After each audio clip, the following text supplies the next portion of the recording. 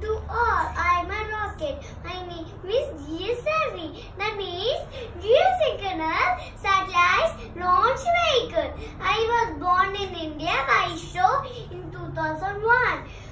I am launching satellites into the space. I, la- I launched the Chandrayaan 2 successfully in July 2019. I am proud for launching satellites from India and I hope I do my job successfully in future also. Thank you. Hind. I am rocket. My name is GSLV. That means Geosynchronous Satellite Launch Vehicle. I was born in India by ISRO in 2001. I, I, I am launching satellites into the space. I, I launched the Chandrayaan 2 successfully in July 2019.